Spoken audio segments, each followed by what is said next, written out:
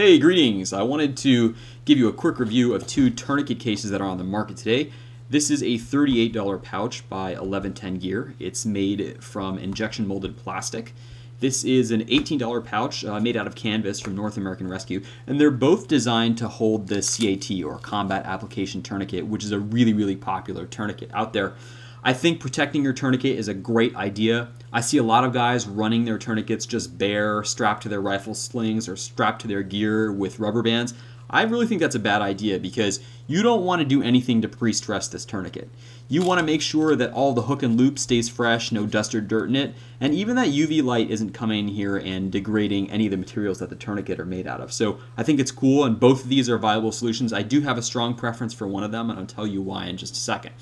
So the construction I kind of went through here, you'll notice that the 1110 gear pouch has a one by one hook and loop area on the front.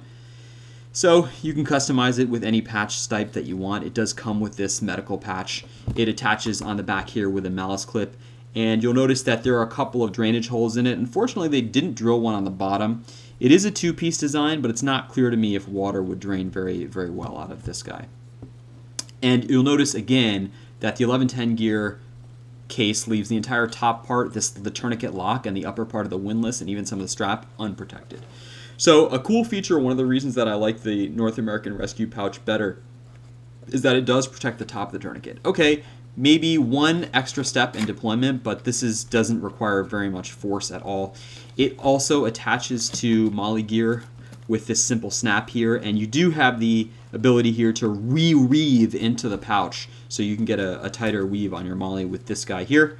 Pretty simple. They were able to put a drainage hole on the bottom, which I, which I think is a good idea. All right. We've talked about attachment, we've talked about features. Now let's talk about retention for a second. So it basically takes no force to insert or even to remove a cat tourniquet from the North American Rescue pouch. I really like that and it, it's definitely secure enough to where even if I'm hanging upside down, I don't think the tourniquet will come out, especially with this top piece on it.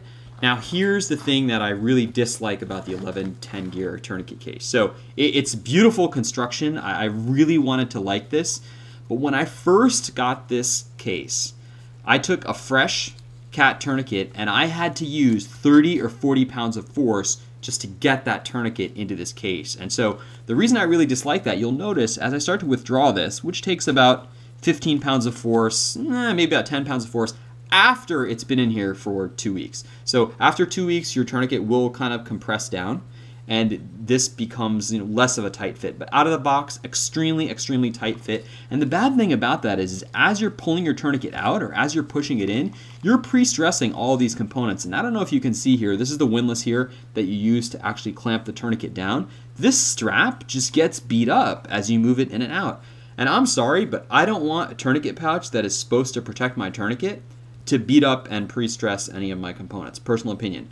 So I really like this tourniquet case. Uh, I think a lot of people will buy it and be happy with it, but I think they can do a much better design. And here's what I'd like to see them improve.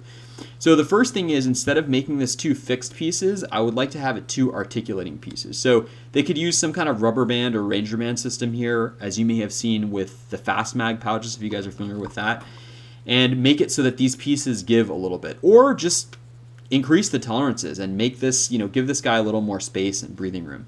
The nice thing about a rubber band system is that it's dynamic and it will, you know, of course, all these tourniquets are manufactured the same, but people pack them differently and are going to want to pack them to different heights. So a nice expandable two-piece articulating system and then something to protect the, the top part of the tourniquet. It is really important to protect this lock and also to protect this hook and loop as well. If you're going to invest in protecting your tourniquet from dust and the elements, I don't see why you wouldn't go all the way, a lot like the North American Rescue, and, and cover the top of the, the tourniquet as well. The last thing that I think the 1110 designer should look at is the stress points. And so I'm starting to withdraw this tourniquet here, and they should figure out a way of, of doing this molding so that, that you don't beat up this strap here. Okay, so that was everything that I wanted to say about both these tourniquets. I think they're both viable options.